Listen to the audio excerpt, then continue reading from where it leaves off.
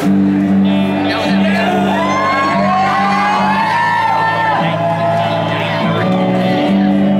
song's called I'm Sorry I'm Trying.